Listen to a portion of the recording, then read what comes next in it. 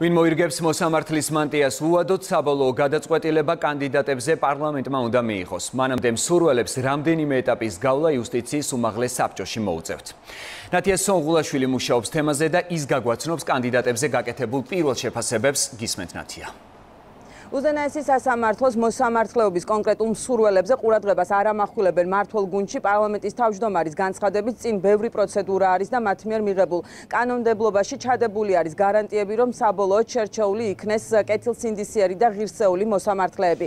ირაკლი კობახიძის განცხადებით მას შემდეგ რაც პროცესები საკანონმდებლო ორგანოში გადაინაცვლებს დეპუტატები იხელმძღვანელებენ და ყურადღებას გაამახვილებენ კანდიდატების გამოცდილებაზე კვალიფიკაციაზე და კეთილსინდისიერებაზე ინდისიერებაზე.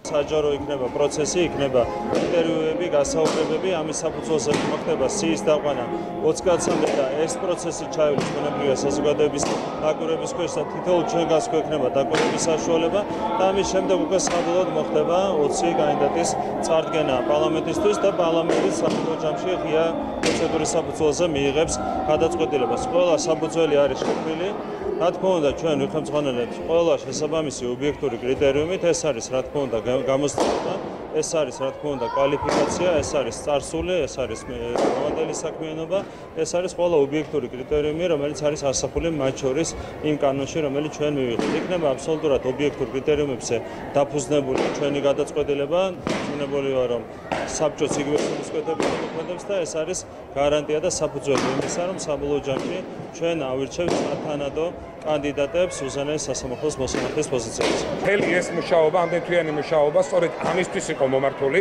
რომ ამ პროცესმა გაიაროს მაქსიმალურად გამჭირვალედ, მოხდეს თითოეულ კანდიდატთან იმ პროცედურის დაცვა, რომელიც გათვალისწინებულია, პარლამენტი დაიცავს ყველა იმ წესს, რომელიც თვითონვე მიიღო და დაამტკიცა უპრეცედენტოდ გამჭირვალე რეგულაცია თქვენ ვერ ნახავთ მსგავს რეგულაციას, რომელიც ამდენ გამჭირვალე დემოკრატიულ წესს ითვალისწინებდეს და მე შემიძლია გითხრათ, რომ ამ პროცედურის თეატრ გავლის შემდგომ იქნებიან შერჩეული ხილსეული წარმომადგენლები, ხილსეული მოსამართლეები საქართველოს უზენაესი სასამართლოსთვის.